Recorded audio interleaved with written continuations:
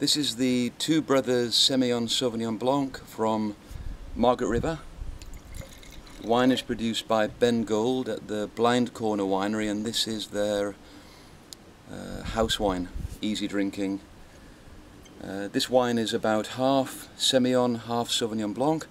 Semillon is very like Riesling, it's crisp, it's uh, acidic, it's got uh, a very good sort of uh, clean uh, character um, Sauvignon Blanc has tropical fruit characters, uh, mango, papaya, but also green vegetables.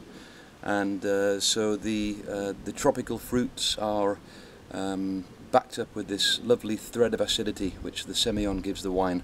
And this makes it a very easy drinking summer wine. Um, you can see the colour is very light.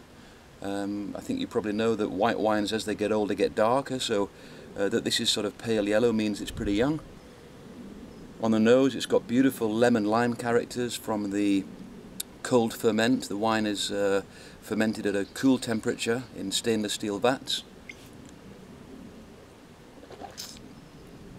On the palate the wine is fresh, crisp, a little bit of rich um, richness from the Sauvignon Blanc and this would be beautiful with uh, salads, oysters. Uh, both of these grapes um, are uh, originating from Bordeaux, so you could call this a New World Bordeaux style.